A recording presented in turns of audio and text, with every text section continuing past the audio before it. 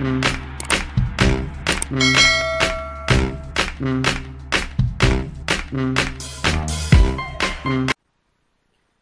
උදෑසනක් වේවා.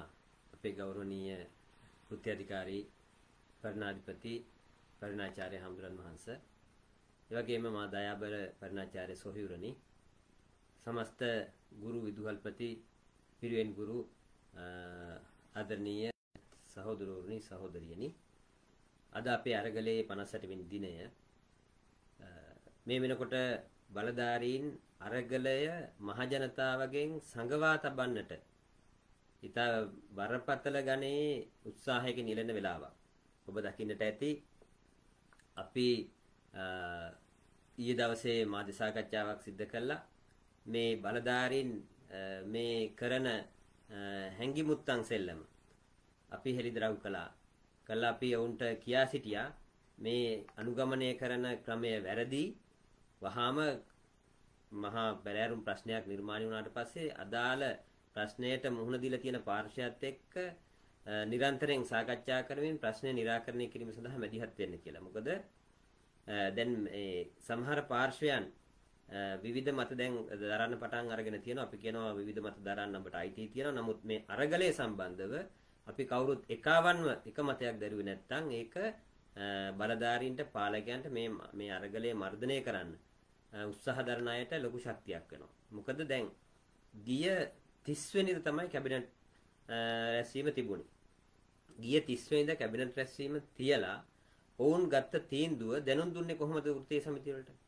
ඔවුන් දැන් දුන්නේ නැහැ. 31 වෙනිදා 30 තියපු කැබිනට් මණ්ඩලය පිළිබඳව 31 වෙනිදා අපි රැස්වීමක් අපි මාධ්‍ය සාකච්ඡාවක් පැවැත්තුවා. අපි විශ්වාස කළා ඒ වෙනකොට වෘත්තීය සමිතිය වලට කැබිනට් මණ්ඩලයේ විශේෂයෙන් කැබිනට් අනුකමිටුවක් පත් කළා. ඔවුන් හෝ අධ්‍යාපන ඇමතිවරයා ඊට කලින් අධ්‍යාපන ඇමතිවරයා වෘත්තීය සමිතියත් එක්ක සාකච්ඡා කරන නිසා ඒ තීන්දුව යම් ආකාරයකට ක්‍රමානුකූල විදියකට වෘත්තීය සමිතිය දැනුවත් කරයි කියලා. හැබැයි වෘත්තීය සමිතිය දැනුවත් කරේ නැහැ. ඔවුන් මාධ්‍යයට ඊයේ පැවති කැබිනට් මණ්ඩලය තුල මෙන්න මෙම තීන්දුවක් ගත්තාය කියලා 31 වෙනිදා දවසේ මාධ්‍යයට නිකුත් කරපු නිවේදනයක් තමයි වෘත්තීය සමිතිය වලට ලැබෙන්නේ. එදා ඉඳන් පසුගිය 30 වෙනිදා ඉඳන් අද දක්වා අද සැප්තැම්බර් මාසේ 7 වෙනිදා අද දක්වා මේ බලධාරීන් කිසිවෙක් ඔවුන් අරගත්ත තීන්දුව පිළිබඳව හෝ නිශ්චිත ආකාරයට වෘත්තීය සමිති වෙත කරුණු දැනුවත් කළා නැහැ. අපි බලාපොරොත්තු වෙන තීන්දුව නෙමෙයි. ඔවුන් ගත්ත තීන්දුව හෝ අපිට කියන්න ක්‍රමානුකූලව කැඳවලා සාකච්ඡාවක් කළා නැහැ. ඉතින් ඒ නිසා ආණ්ඩුව පසුගිය 30 වෙනිදා කැබිනට් එකෙන් පස්සේ ඒ කැබිනට් අනුකම්පිටුවේ හිටපු ඇමතිවරු විමල් විරවාස ඇමතිවරයාගේ පටන් ඇමතිවරු සහ ආණ්ඩුව සහ ආණ්ඩුවට හිතවත් මාධ්‍ය ජාලා මේ සියල්ල උන් සන්නද්ධ කරගත්තේ මේ අරගලයට පහර දෙන්න. මේක විසඳන්න නෙමෙයි. ඉතින් ඒ නිසා අද ඔවුන් අපි දැක්ක ඊයේ ඔවුන් රජයේ හොඳට පුරුදු පුහුණු කරලා Tamanට අවශ්‍ය ආකාරයට සැලසුම් කරගත්ත ඔවුන්ගේ ගුරු සංගමේ නායිකාව ගෙන්නලා එක්තරා මාධ්‍යයක කරපු සාකච්ඡාව. ඉතින් අපිට සෑහෙන ප්‍රශ්න තියෙනවා ඇත්තටම. මොකද සමහර මාධ්‍යවල හැසිරීම සහ ඔවුන්ගේ ප්‍රවේශයන් පිළිබඳවත් ඊටාම අප්‍රසන්න හැඟීමක් අපිට ඇති වෙන්නේ. ඉතින් ඒ නිසා මාධ්‍ය ඉන්න ඕනකම තියෙන්නේ මධ්‍යස්ථ තැනක. නමුත් මධ්‍යස්ථ තැනක නෙමෙයි තාමත්ම කැත අන්තවාදී තැනක සිට මේ අරගලයට පහර දෙන මේ අරගලය හෙලා දකින මර්ධනය කරන්න ඕන කියලා කල්පනා කරන මාධ්‍යවේදීන් තමයි මේ මේ මහා දැවැන්ත 260000ක ගුරුවරුන්ගේ ප්‍රශ්නය සම්බන්ධව රටට පණිවිඩ දෙන්න කතා කරන්නේ. ඉතින් මේවා මේවා තුල හරිම පිළිකුල් සාගත තත්ත්වයක් තිබෙන්නේ. ඔබ දකින්නට ඇති. ඉතින් ඒ නිසා ඒවයින් උත්සාහ කරන්නේ මොකද්ද? වැරදි වැරදි තොරතුරු ඒවා දිහා බලන් හිටියම හරිම ජුගුප්සාජනක හරිම පිළිකුල් සහගතයි. ඔවුන්ගේ හැසිරීම. ඒ ගුරු සංගමේ නායිකාවගේ ඒ වගේ මාධ්‍ය කණ්ඩායම්ලත් හැසිරීම ගත්තොත් එහෙම හරිම පිළිකුල් සහගතයි. ඉතින් කෙසේ වුණත් මෙහෙම මේ පසුගිය සතිය පුරාම අද වෙනකම්ම ඔවුන් අපට සාකච්ඡාවක් අඩු වශයෙන් අධ්‍යාපන ඇමතිවරයවත් සාකච්ඡාවක් ලබා දීලා නැහැ. ඔවුන් කැබිනට් එක තිබ්බා. ඔවුන්ගේ තීන්දුවක් මාධ්‍යයට ප්‍රසිද්ධ කළා රටට කියන්න කියලා. එතනින් පස්සේ ඔවුන් නිහඬයි. එතකොට අනිත් පැත්තෙන් අපි වෘත්තීය සමිති ගන්න ක්‍රියාමාර්ග පිළිබඳව මාධ්‍ය තුල සංගවා තබන්න දරන උත්සාහයක් තියෙනවා සහ මේකට පහර දෙන්න දරන උත්සාහයක් බරපතල තියෙනවා.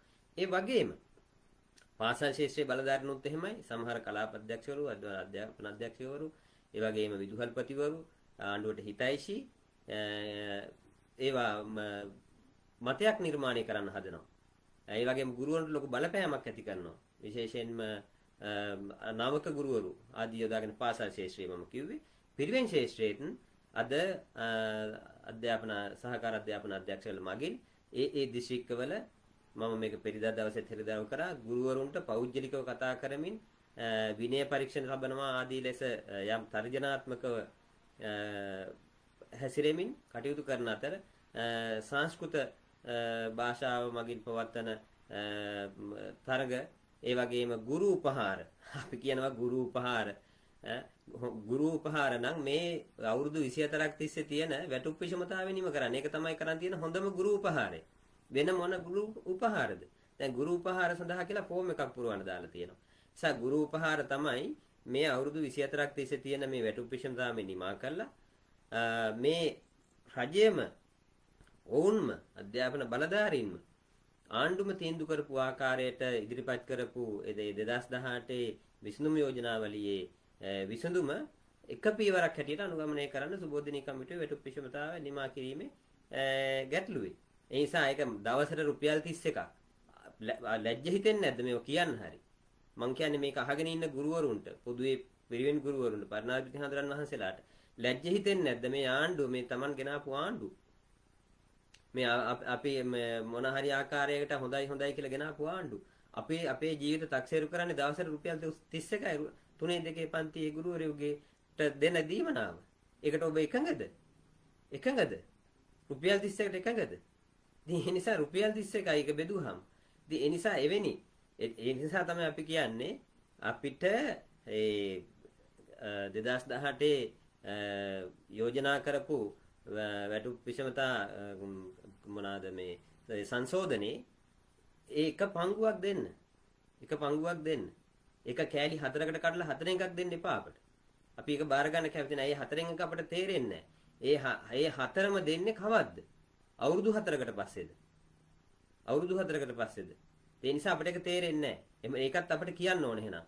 අපිට එහෙනම් කියන්න ඕන සැප්තැම්බර් මාසේ, ඔක්තෝබර් මාසේ, නොවැම්බර් මාසේ, දෙසැම්බර් මාසේ. එහෙමද? එහෙම නැත්නම් අයවැය ඉඳන් නොවැම්බර් මාසේ, දෙසැම්බර් මාසේ, ජනවාරි මාසේ, පෙබරවාරි මාසේ. එහෙමද? මේ මේක දෙන්නේ. එහෙම නැත්නම් අයවැය හතරකින්. එතකොට ඔබ කැමතිද අයවැය හතරකින් ගන්න? අයවැය රුපියල් 1000කට අඩු මුදලක් සොච්චම ඒකද අපි වැටුපිෂ්මතා නිම එතකොට අපිට අවුරුදු 12ක් බලන් ඉන්න වෙනවා. අවුරුදු 12ක්.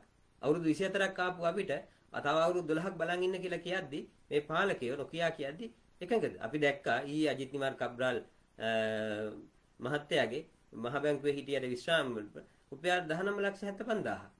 දැන් බලන්න ඒවා ඒවා හරිම සුවදව හරිම කිසි මී කියන හඬක් නැතුව අරගලයකින් තොරව හඬ කෑගැසීමකින් තොරව බොහොම සුවද සීලිය සිනාමුසු මුණින් ෂැම්පේන් බොමින් ඒවන් මත කරගන්න බලන්නකෝ විශ්‍රාම මේ මේ මේ රටේ මහා භාණ්ඩාගාරයට මේ රටේ ජාතික ආර්ථිකයට මහා දැවැන්ත හානි කරන්නට නොඑක ආකාරයකට දායක වෙච්ච අයගේ ලැයිස්තුවක් මං හිතන්නේ මේ පළලා තිබුණ සමාජ මාධ්‍යවල. ඒ අයට විශ්‍රාම වැටු. විශ්‍රාම වැටු. අර්ජුන් මහෙන්ද්‍රන්ට විශ්‍රාම වැටු. ගුරුවරුන්ට රුපියල් 31ක්. මේ අසාධාරණ ඉවසනවද ඔබ? අපිට තියෙන ප්‍රශ්නේ ඒකයි. මේ අසාධාරණ ඉවසනවද?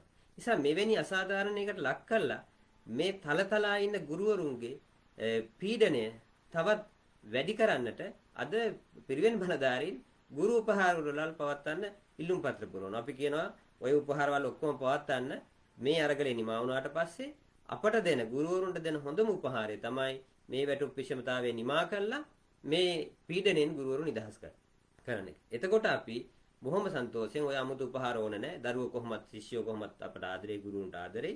ඒ නිසා අපේ පොඩි හමුදුරන් වහන්සේලා ගුරුවරුන්ට කොහොමත් ආදරේ ගෞරවයක් තියෙනවා. ඒ නිසා අපි අපේ රාජකාරී ඉෂ්ට කරන්න අපිට තියෙන හොඳම උපහාරය තමයි මේ තියෙන පීඩණයෙන් අපිව නිදහස් කරන එක.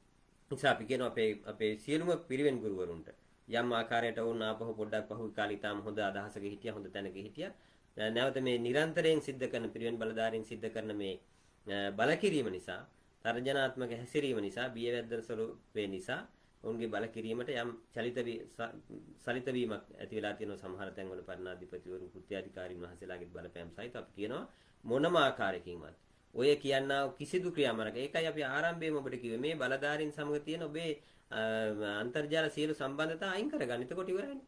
මෙවැනි පීඩාකාරී අපේ ප්‍රශ්නට අහුම්කම් දෙන්නේ නැති විසඳුම් දෙන්නේ නැති අයත් එක්ක අපිට මොන සම්බන්ධතාවද? අපි සම්බන්ධතා ඇති කරගමු රාජකාරී ලෙස මේ ප්‍රශ්නේ නිමා කළාට පස්සේ.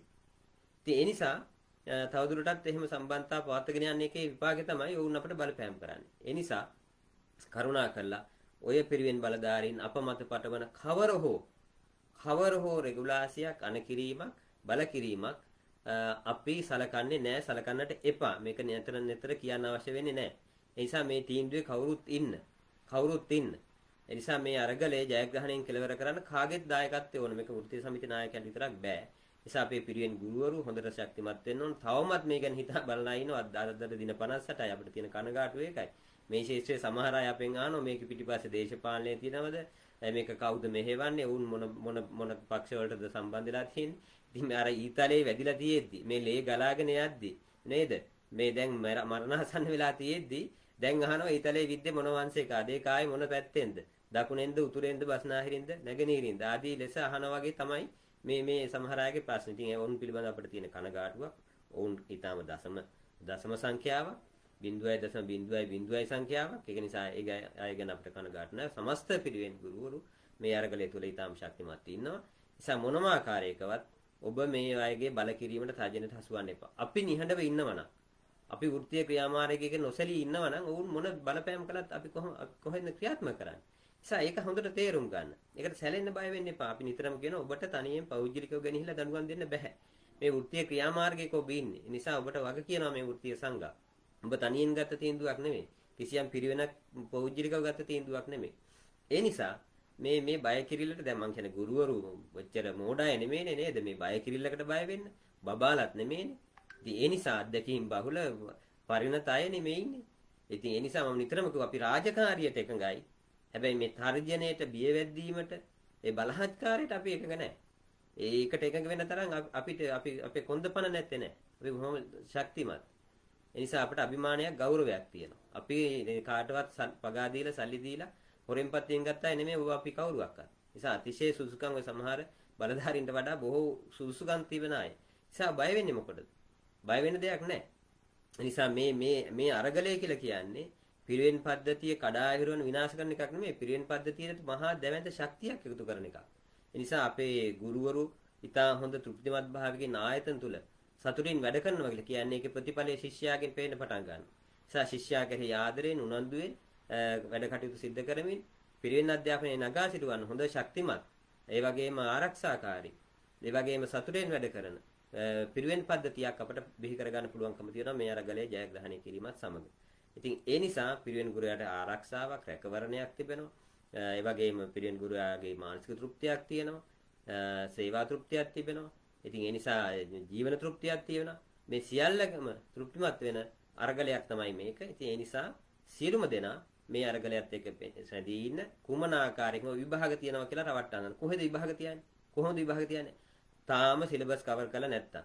අසමාන ලෙස පිරිවෙන් වැඩ කරනවා. ඔබ හිතනවද ඔබ ඔය වැඩ කරන පිරිවෙන් කීපෙන් අපි අහන්නේ සාතිශය බහුතරයක් පිරිවෙන් වහලා තියෙද්දි වැඩ කරන්නේ නැහැ කියලා තියෙද්දි පොළොන්නරුව සම්පූර්ණ මේ බලධාරීන්ගේ තීන්දුව తీරන ප්‍රතික්ෂේප කරලා තියෙද්දි ඔවුන් කොහොමද පොළොන්නරුව අත්හැරලා අනිත් තැන් වලට විභාග තියන්නේ? එහෙම තියන්න පුළුවන්ද? ඇයි මේව නොහිතන්නේ? නිසා කවර හෝ එක පිරිවෙන් 10ක් මේ මේ ක්‍රියාවලිය තුල නියැලෙන්නේ නැත්නම් ඔවුන් අත්හැරලා මේ කිසිවක් තියන්න බෑ බලධාරීන්ට. එහෙම කොහොමද තියන්නේ? ඉතින් ඒ නිසා මේ සියලු දෙනා මේකවන්න මේ අරගලයේ තුල හොඳින් හැදින්න ඕනකම තිබෙනවා. නිසා වැඩ කළා කියලා. ඔවුන් කියන දේවල් සමහර දේවල් ඉතා හරිම ලැජ්ජසහගතයි. බෝධි පූජාවල් කළා ඒක ක්‍රියාකාරකමක් හැටියට වීඩියෝ කරලා WhatsApp කරන්නේ මොන ලැජ්ජස් නැති වැඩක්ද බෝධි පූජා කරන. එතකොට අපි මේ ක්‍රියාවලියක් නෙමෙයි එකල තියෙන රැවැට්ටිල්ලක් බොරුවක්. ඒ නිසා මේ පිරියන් පද්ධතිය බොරුවෙන් ගෙනියන්න බලධාරීන් බල කරනවා. ඒ නිසා මම කියන්නේ මේ ඒ ඒ පහත් තැනට අපි වැටෙන්න ඕන කමක් නැහැ. එහෙම නෙමෙයි ප්‍රශ්න විසඳන්න කවුරුත් එක මැදිහත් වෙන්න. එතකොට අපි ඇත්තට වැඩ කරමු. බොරුවට බෝධි පූජා කරන්න ඕන කමක් නැහැ. මම අහගෙන මම දැකලා තියෙනවා පණිවිඩ දෙනවා අපට. මෙන්න මේ විදිහට තමයි බලධාරීන් උපදෙස් දෙන්නේ කියලා. ඉතින් ඒ නිසා ඒව හරිම ලැජ්ජාසගතයි. ඒ නිසා බොරුවෙන් කටයුතු සිද්ධ කරන්නට බල කරන්නට එපා. ඒකට අහු වෙන්නත් එපා. එහෙම ඕනේ අපි කවුරුත් එක අරගලයක් කරමු. එක අරගලයක් කරාම ජයග්‍රහණ ඉක්මන් කරගන්න පුළුවන්. එක අරගලයක් නොකරන නිසා තමයි ජයග්‍රහණය පස්සට යන්න හේතු වෙන්නේ. ඒ වගේම වලදාරින් අපිව මර්ධනය කරන්න හේතු වෙනවා. අපි ඔක්කොම එකවන්න එක මිටකට අපිමනේ කියන්නේ. නේද? අර වටුකුරුල්ලන්ගේ කතාව උපද බනට උපදේශ දෙන්නේ අපිමයි. ඉතින් ඒක අපි ළඟට ආවට පස්සේ අපි ඒක බහිතාරණ ගන්නෑ. ඉතින් ඒ නිසා අපි අද දවස් ඉල්ලා සිටින ඔබෙන් අද අරගලේ 58 වෙනි 8 වෙනි දවසේ නිසා මේක අපිට දින ගණන් කර කර මේ 100 දක්වා ගෙනියන්න ඕන කමක් නැහැ. අපිට එහෙම පහත් මානසිකත්වයක් නැහැ. සා ආණ්ඩුව හදන අරගලය ජනතාවගෙන් සංගවන්න ජනතා විරෝධයක් නිර්මාණය කරන්න. ඒ වගේම මාධ්‍යෙන් මාධ්‍යයට වාරණ පනවලා තියෙනවා. කෙසේ වුණත් අපි සතුටු වෙනවා මහානායක හඳුරන් වහන්සේලා මුණ ගැහෙන්නට අපේ ගුරු සංගම් නායකින් ගියා, නියෝජිතයින් ගියා. ඒ වගේම ගැටඹේ නායක හඳුරු ඉතාම හොඳින් මේ ප්‍රශ්නේ තේරුම් අරගෙන පාලකයන්ට පණිවිඩයක් නිකුත් කළා තියෙනවා. අපි දැක්ක ඊයේ දවසේ තාරා දිමෙල් හිටපු අධ්‍යාපන ලේකම්තුමිය ඉතාම හොඳ වීඩියෝවක් සිද්ධ කළ ඉවරලා මේ ගුරුවරුන්ගේ ප්‍රශ්නය මගහරින හැටිත් ආණ්ඩුව ඒ ප්‍රශ්නේ විසඳන්න ආණ්ඩුවට ඕන නම් විසඳුම් මාර්ග තියෙන හැටිත් නිසා ගුරුවරයා නගා සිටුවීමේ තිබෙන අවශ්‍යතාවයත් පැහැදිලි කළා මම දැක්ක වීඩියෝවක් නිකුත් කළ තියෙනවා මාධ්‍ය දාලා තුල සමාජ මාධ්‍ය වල සංසරණය වෙනවා. ඒ නිසා මේකට මේ සියලු යහපත් පාර්ශ්වයන් අදත් මම හිතන්නේ සෑහෙන විද්වතුන්ගේ දේශන සම්මන්ත්‍රණ රාශියක් තියෙනවා මේ අරගලයේ සම්බන්ධව. ඒ නිසා ගුරුවරුන්ගේ මේ අරගලය සම්බන්ධව අද මුළු සමාජයේ අවධානය තීව්‍ර වෙලා තිබෙනවා. ආණ්ඩුව මුග්ධාකාරයට මෙහිදී අනුගමනය කරන මේ ක්‍රියාදාමය බිඳලා ජයග්‍රහණය ජයග්‍රහණයෙන් කෙලවර කරලා සටන නිමා කිරීම සඳහා සෑම දිනම මේ අවසන් අධියරේ ඉතා ඉක්මනින් ජව සම්පන්න වේගවත් සමගියෙන් එකමුතුවෙන් කටයුතු සිද්ධ කරන්න කියන එක තමයි අපි ඉල්ලා සිටින අද ටිකක් වැඩිපුර කතා කරන්න උනේ මේ ප්‍රශ්නය ටිකක් ආපහු ව්‍යාකූල කරන්නට බලධාරීන් සැලකිය යුතු සැලසුම් සාගත උත්සාහයක් මාධ්‍යද පාවිච්චි කරමින් කරන්න නිසා. ඉතින් ඒ නිසා අපි ඔබට ධෛර්ය ප්‍රාර්ථනා කරනවා අපි එකට සටන් වදිමු. එකට අරගල කරමු. එකට ජයග්‍රහණය විඳිමු. නිසා මේක තුල බියවැද්දීම්, ඒ වගේම තර්ජන, පාවාදී මේ ආදී කිසිවකට ඉඩ තබන්නේ නැතුව එකවන්ව සමගියෙන් එකමුතුව මේ අරගලේ ජයග්‍රහණය කිරීමට ඔබට ශක්තිය ධෛර්ය ලැබේවා කියලා ප්‍රාර්ථනා කරමින් අද දවසේ ඔබෙන් සමගන්නවා බොහොමත්ම ස්තුතියි අප සමග එක්තුණාට.